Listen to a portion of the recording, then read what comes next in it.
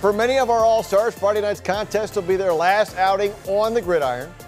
Now, while both Travon and Travail Reid are continuing their careers to the next level, this week marks the final time the Rebel Twins will be teammates.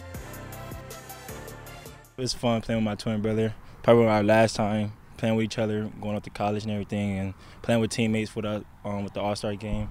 It's fun.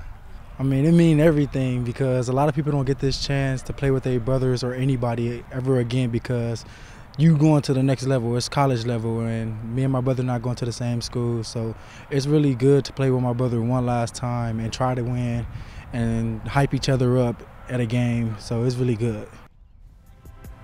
Tomorrow night, we'll have more from the Twins as they gear up one final game together.